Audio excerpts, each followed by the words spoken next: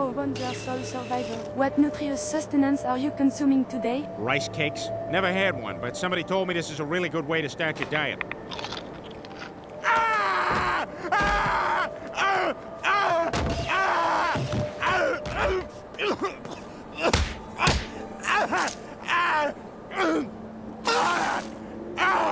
Who, who could think of such a horrible thing? Are you all right?